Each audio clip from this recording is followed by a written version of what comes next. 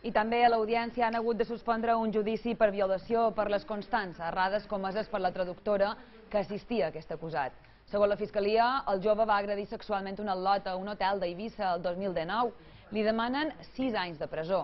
Avui, durant l'interrogatori, el tribunal ha detectat que la versió dels fets que donava la intèrpret no s'ajustava a la declaració de l'acusat i ha hagut de suspendre la vista.